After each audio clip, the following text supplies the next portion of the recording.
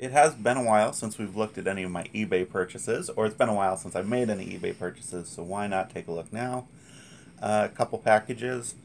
As always, Glamorous Lady Wife is working the uh, tablet camera. We're using Olfa Snapblade 9mm utility knife. I have become a huge fan of the Snapblade utility knives in recent days. Um, I think they are super convenient, especially for stuff like this. This Olfa is nice, made out of stainless.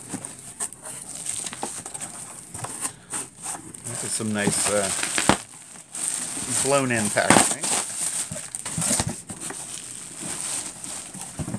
And here we go. Not very exciting. A Sun 611 enclosure. Where it will become exciting is to find out what is inside it. that's why my bag of screwdrivers is here in the uh, in the shot. Now, one or possibly two cats may venture into the uh, into the frame now. That's right. There is another cat. We'll see how uh, how eager she is to get into the shot. If you notice here, we got the 68 pin SCSI connectors on the back, integral power supply, and security screw. I'll take it off and see what's inside. There may be nothing. There may be a hard drive.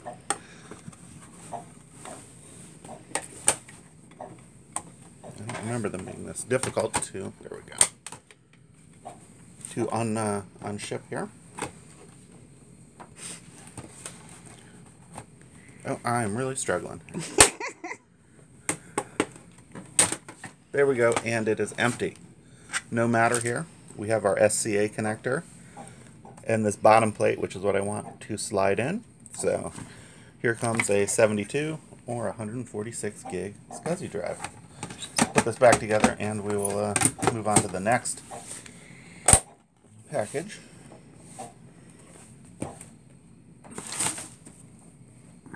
We've Got dogs barking in the background. This one's smaller and a lot more exciting.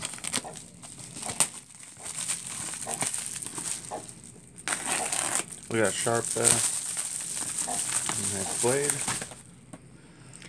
Well done packaging here.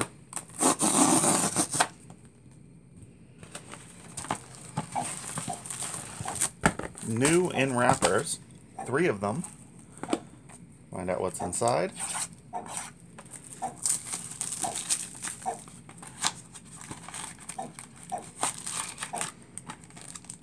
And it's a Sun desktop microphone. People have complained my audio isn't good enough. Here is a way to make it worse.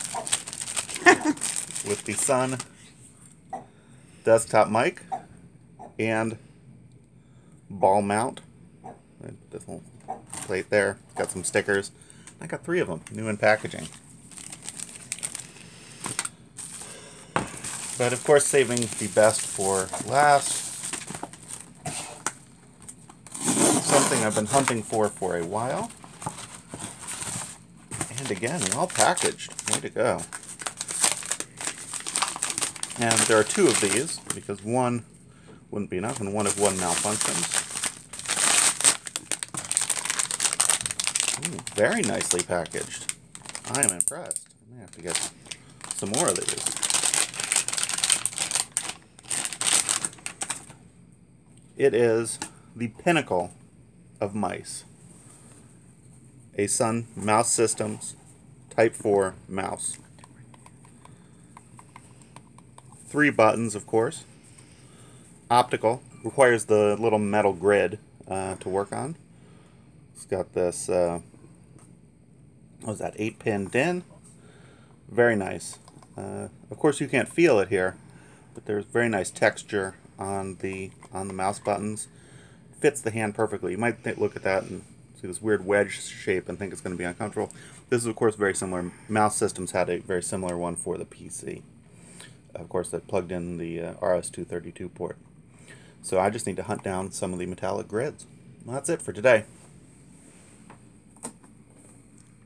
Oh, cat action.